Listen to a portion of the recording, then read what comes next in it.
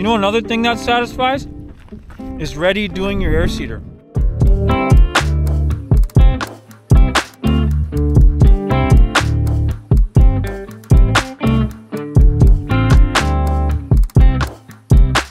What a difference a week makes. We're on a new inspection route. We got new people. I'm the same guy, but we got Walter, who's five. He's one of my sons. He's joining me this week. And we got Dexter. Dexter's joining us. Gonna be one of the guys coming to see you maybe to do inspections and help you make a plan for your most important pass of the year, your seeding pass. Light goes fast here. We do not have many hours of the day and we are here near Tolna, North Dakota. Nice machine. Equipment tour, 9300 John Deere. This is normally a 42 and a half foot 1890 and it's been modified. It's been added on to. We're thinking, we'll verify, but we got two extra rows per side so that this is a 45 foot 1890. Nice machine, doesn't have a lot of wear. Right away I knew it doesn't have a lot of acres is because when you walk up to this thing, the edges on the closing wheel are still good. They're still sharp. Normally this is really rounded. And then there's not a lot of play in things. There's some things, we need some discs and depth adjusters, some arms and things. But overall, this thing's a really nice machine. Got the wireless blockage system already on it. And it already has some stainless upgrades on the cart. And it's raining, so we're gonna hurry up and get back in the truck, right up the job, and be on our way. Well, it's not very often we get to come back full circle after doing a job. We did an inspection with Jim here, and he had us do the work and we're gonna go check out that work on his drill inside the shed here, but we also redid his meter housings. So we're gonna check those out with you so you can see how those turned out. Grab one here. This one came apart really nice. Uh-huh. And we were able to reuse the shaft that was already in there. We did reuse your tuning rings here. Yes, looks very good. And that should give you a consistent drop. Um, your product should flow consistently through your airstream instead of what's called an intermittent drop where it might dump some and then stop. If it's something that swelled up a little on them. Okay, I just must have it turned. There. Nice. Oh, it'd take a while to whittle through it too. We're looking down here to see if there's a issue with one of the agitators. Man, this fertilizer is just so tough on stuff. You know, he uses this for seed only, but we've got crazy corrosion happening everywhere just because it was initially used for fertilizer. These, those units there. Yeah, the depth slop Yep. blocks. Very nice. We got the blockage system on. I know you had some skips that you were frustrated with, and mm-hmm. this would solve that. But yeah, you can get play in there, and that was the purpose of Well, let's see how these hold up. We're optimistic that Yeah. they do a good job, and I bought this drill new, and this is the 18th season I'll be running it. wow, When it's not in use, it's always inside, you know, and that's what the killer of these drills. When they sit outside, Yeah. things seize up. I mean, bearings, pivots. yeah, All that. everything. But yeah, I, I think this is a good deal when they put those. Crew is good, fast, efficient, and ready to rock and roll with it. So Yeah. Walter gets a ride in his truck here. We're here with Lowell, and we've had a great conversation, rebuilding or talking about the seeder here. And they're gonna go get a ride. Let's go for an adventure. Yeah. Pretending like it's far away.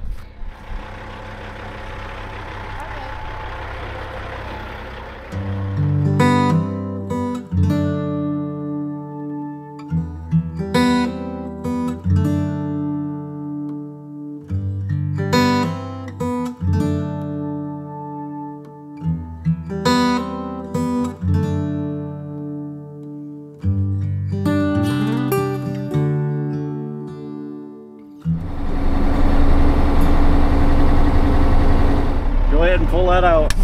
There you go. Now we got now we got the brakes on. And did you have a good time? Yes. Did you say thank you to Lowell? Yeah, no, thanks for riding along. I had a good time. Can anyone else tell that Dexter used to work for MacDon and he likes headers? so Dexter comes to us from MacDon. He worked at MacDon for a number of years. It was funny. I'm driving. We're driving down the road and I see an air seeder, a, a John Deere out in the distance, and I say, "Hey, there's a John Deere air seeder." He goes, "There's a MacDon FDK01 kit or head or something. And so it's neat. He's got his eyes on the headers. He's been around that for a long time, and I've got my eyes on the air seeders. We'll get him converted over. He'll be helping us out with the air seeders too. Maybe give him a call if you got a question on a MacDon. He might be able to help you out. No! He said, don't call. okay, maybe not. But if you want to, you could.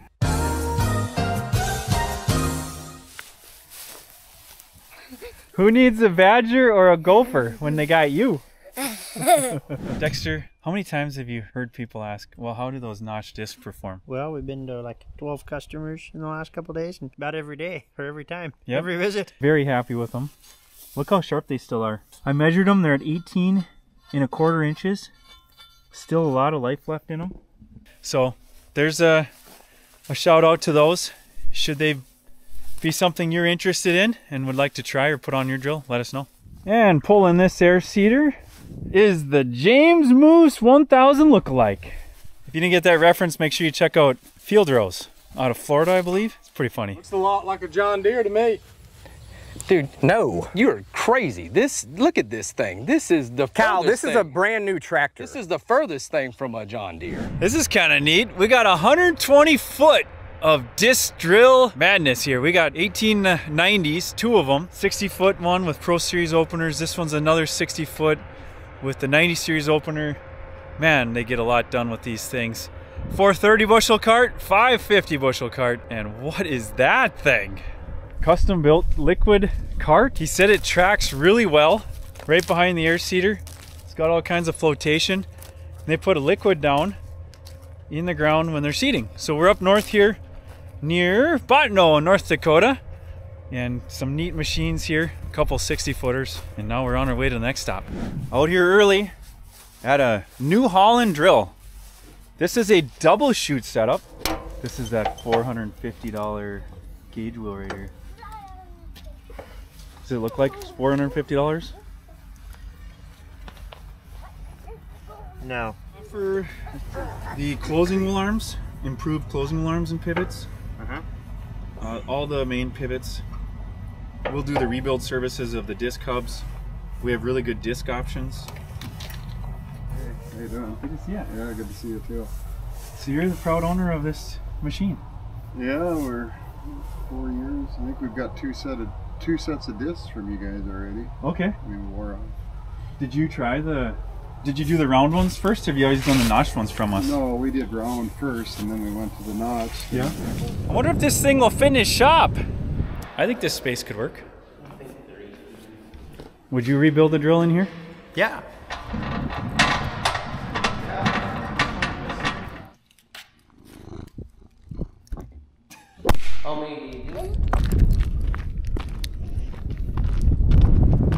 You know another thing that satisfies? Is ready doing your air seeder. The satisfaction in that being done efficiently, accurately, quickly, with excellent parts, about the same experience.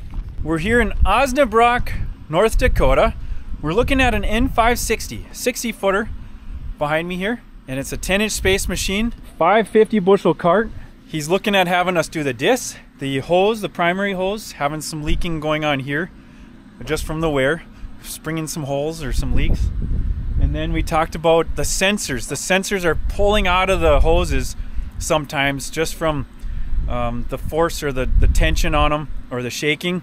And those sensors don't clamp the best on this urethane hose or this PVC hose, whichever one they got. And so we've got a fix for that that we'll show you here on what to do to make sure that doesn't happen to this seeder or your air seeder. So what can happen is this sensor is held on by this hose clamp. It's it's a two half couplers essentially, or a, a plastic tube with slits in it to go into the hose or onto the hose.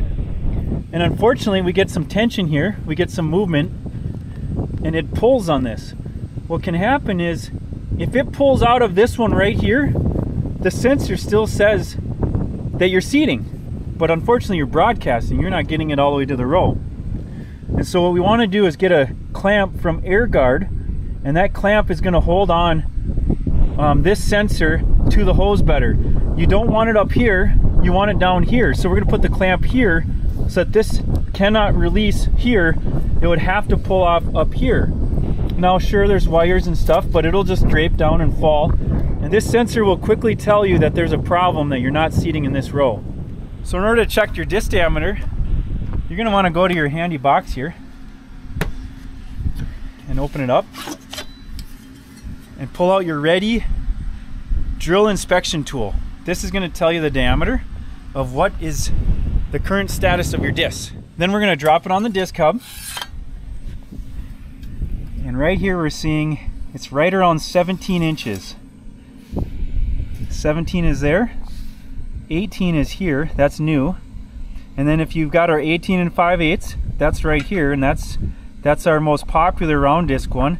And our notched one is about an 18 and a half average. Now the tip is about 19 tip to tip, but the uh, average is about 18 and a half when you consider the troughs and the tips. And then just throw it back in the box. So it's there for next time. Make sure you like and subscribe to keep up on all the fresh content posted weekly, which includes helpful tips and tricks, new products, and various adventures. Also, make sure you check out Red E's website to shop our performance air seeder solutions.